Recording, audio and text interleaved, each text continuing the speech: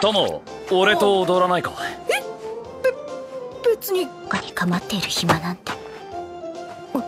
ごめんね。ありがとう。え何が？私何かしたっけ？私の目的はこれだよ。しなさい消すわ。まさかお前にダンスに誘われるとはな。変な意味だと勘違いされるかも。勘違いじゃねえよ。ねえともちゃん。文化祭の日にじゅんくんと何かあった？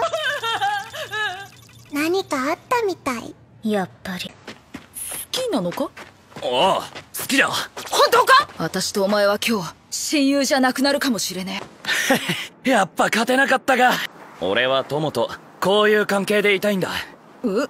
今まで通り競い合える関係でいたいと思ってる。幼馴染で。親友で。ライバルで。好きな女だ。私も純が